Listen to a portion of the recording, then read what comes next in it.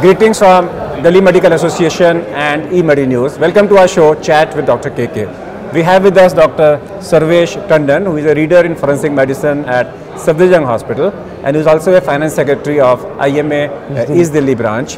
Welcome to our show.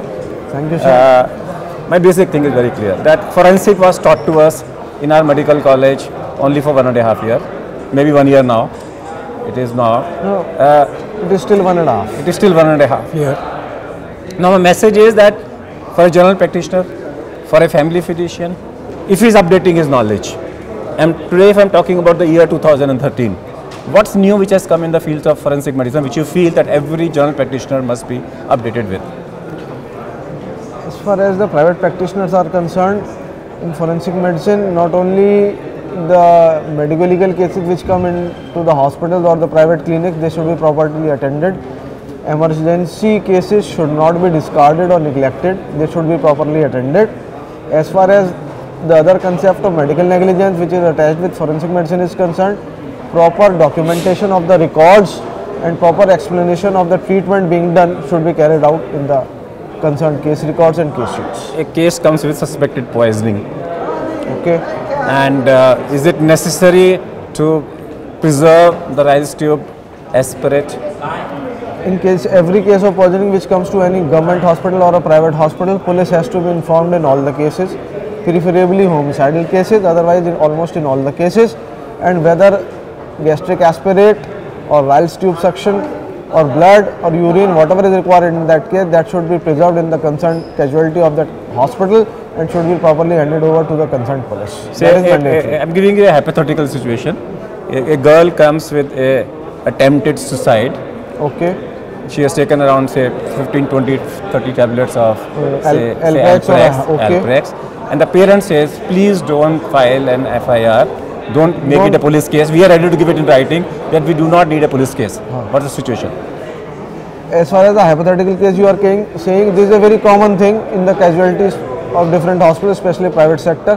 But each and every case, whether the parents or relatives want or not, should be reported to the police as per the law. So it has to be reported to the police. Let the police decide what to do. Let the parents Our and job is decide what to do. means a doctor should refuse to give a treatment without.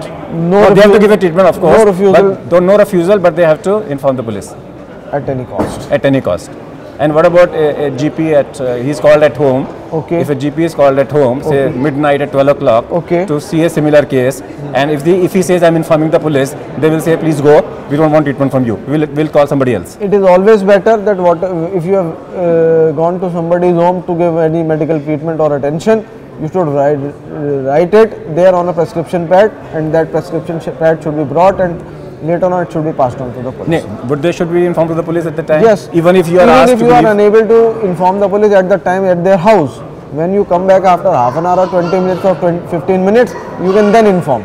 Your job is to inform the police if you happen to see a case which belongs to a medical legal case. Because if later on the situation comes that why did you not inform, then the answer that the parents or the relatives did not ask for it or they refused to it, that is no excuse. That is not an excuse. That is not. Anything else in the year 2013 in the field of forensic medicine? As, as far as the uh, Delhi scenario is concerned, seeing this case and a number of uh, medical legal cases, proper medical legal development should be done by the Delhi government so that all the government hospitals and private hospitals are kept in loop and the proper medical legal services are What planned. about the what about the labs doing the forensic analysis?